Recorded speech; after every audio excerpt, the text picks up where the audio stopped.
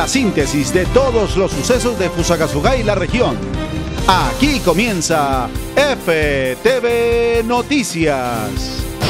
Capturas por diferentes delitos ejecutó la Policía Nacional durante el Puente de la Raza. Parte de seguridad entrega bomberos de la ciudad del Puente Festivo. Gran caravana del candidato Gerardo Humberto Cardona paralizó la ciudad este fin de semana. Se activa el centro de traslado por protección del municipio. Hoy, en la sección política, Jairo Ortúa habla sobre la manera en que combatirá la inseguridad. Campaña de movilidad durante el fin de semana realizó Policía de Tránsito de Fusagasugá. La Plaza de Mercado, sector importante en el gobierno de William Maecha. ¿Conoce usted de los candidatos al Consejo y sus propuestas? Encuesta del día. Esta y mucha más información solo por FTV Noticias. Hoy es 15 de octubre y así los estoy saludando, televidentes, a todos ustedes los que a esta hora se conectan con la información de FTV Noticias. Hoy es 15 de octubre, Día del Lavado de Manos y Día Mundial de la Mujer Rural. Iniciamos con el informe que nos entrega la policía porque han realizado varias capturas con diferentes delitos aquí en la ciudad de Fusagasugá, garantizando aún más que ya pueden contrarrestar la inseguridad. Atendiendo los lineamientos presidenciales direccionados a combatir toda acción delincuencial que ponga en riesgo la vida, honra y bienes de los ciudadanos, en las últimas horas uniformados al mando del capitán Diego Mota, comandante del distrito de policía, realizaron capturas por diferentes delitos en el municipio. Las diferentes capturas que se han presentado por diferentes situaciones, temas de hurto a comercio, hurto a personas, hurto a celulares, los cuales generaron eh, en días anteriores. Dentro de estas capturas, las más relevantes está de alias Juanes, una persona que se dedicaba a cometer hurto a comercio, ya tenía nueve ingresos eh, o nueve antecedentes distintos por esta situación y con esta captura se logró eh, dar media intramural con apoyo de la fiscalía. De igual forma se dio la captura por estupefacientes de alias Dubán, alias Krillin, entre otras personas que eh, cometieron unos delitos en el municipio.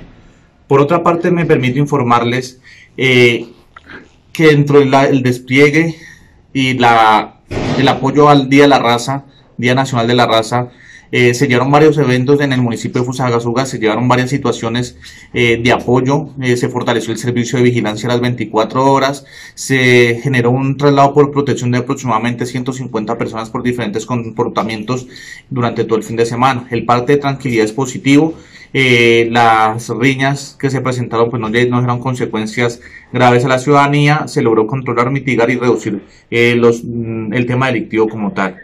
Eh, recordarles, la Policía Nacional está presta para atender los requerimientos de la ciudadanía, para solucionar los problemas y para eh, ser más amigo de la ciudadanía. De igual manera, eh, informarle a la comunidad que la Policía Nacional, por medio de nuestra oficina de prevención, venimos adelantando campañas, eh, fortaleciendo frentes de seguridad y toda actividad preventiva para mitigar, para capacitar a la gente y todo que nos beneficie en, tema, en torno al delito, a la reducción del delito.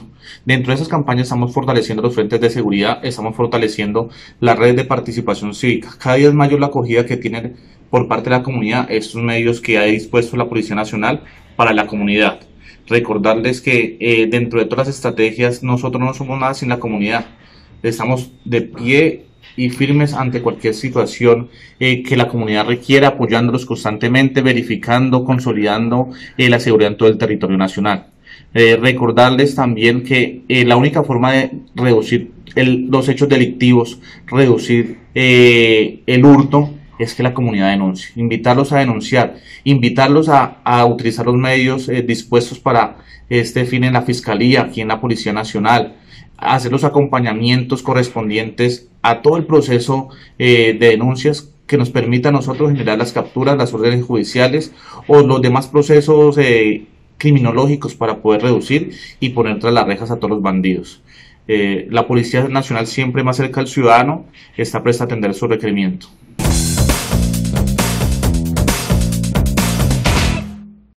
Y un parte de tranquilidad nos entregó el cuerpo de bomberos en cuanto a accidentalidad aquí en el municipio. Durante el fin de semana de Puente de la Raza no se presentaron novedades graves para la tranquilidad del municipio.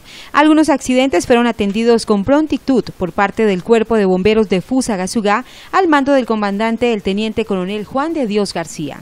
Bueno, este fin de semana se presentaron varios accidentes en el sector de Soacha Gerardo, entre ellos el viernes se presentó un accidente en el sector de Granada, donde se volcó un carro tanque, y en el sector de Silvania en la tarde también se, se produjo un accidente de un motociclista, una, una femenina, la cual perdió la vida.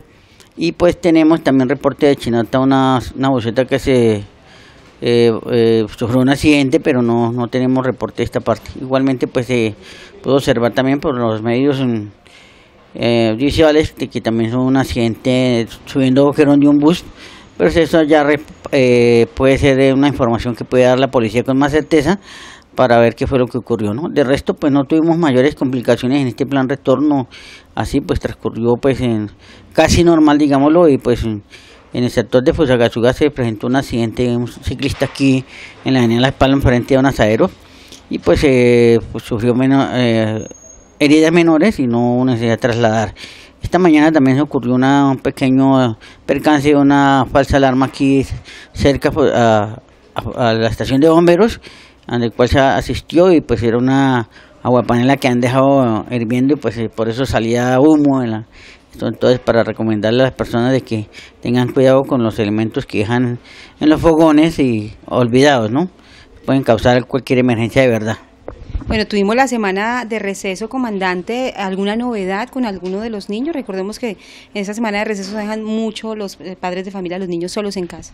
No, en el momento no tenemos reporte de niños abandonados o que haya ocurrido alguna percance. Estuvimos eh, juiciosamente el día domingo trabajando un diplomado que estamos adelantando con la ESAP eh, son 80 horas, entonces estamos ahí trabajando con ellos. Los domingos son 10 domingos, ya llevamos dos y pues seguimos trabajando los próximos domingos con la SAP en capacitación sobre eh, todo lo que es el tema de eh, administración pública. Se viene el 31 de octubre y obviamente también hay que tomar algunas medidas. ¿Cuáles son las medidas, comandante? Bueno, sí, ya estamos cerca del 31 de octubre, el Día de los Niños, es importante día para la festividad y celebración de los eh, niños y niñas de Fusagasugá, pues el cuerpo de bomberos está preparado para atender cualquier situación que se presente en el sector de Fusagasugá y tener en cuenta y recomendarle a los padres de familia que, que ese día que salgan eh, eh, no abandonar, no dejar los niños solos, ¿no? Y pues esta es una temporada que tenemos que tener en cuenta de que los niños deben estar cuidados porque tenemos en cuenta pues que es una, una, donde trabajan sectas satánicas donde pueden llevar los niños, se pueden robar los niños, entonces mantenerlos en constante vigilancia para que no vaya a ocurrir ningún hecho de extravío de estos niños y pues eh, pues y tenerlos con mucha seguridad. Nosotros estamos preparando ya aquí una actividad para los niños. Eh, se va a cerrar la estación, se va a colocar un mural para que los niños que quieran pasar a tomarse la foto y pues ahí van a estar eh, los bomberos pendientes de ellos también para que se tomen la fotico del mural. ¿En qué fecha exactamente? ¿El 31? El 31 de octubre hacemos esa celebración aquí. y se organiza ese tema para los niños y todas las personas que, que cruzan por aquí, pues que ya se ve todo el que nosotros hagamos este tipo de actividad.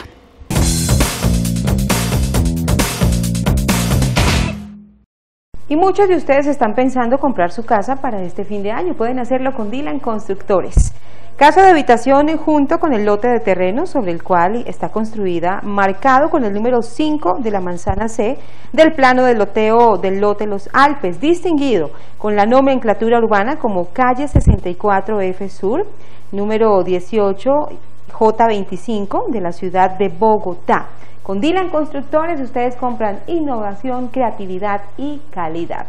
Vamos a conocer los indicadores económicos y al volver estaremos eh, con una gran caravana. ¿Qué fue lo que sucedió el fin de semana con esta caravana del candidato a la alcaldía Gerardo Humberto Cardona?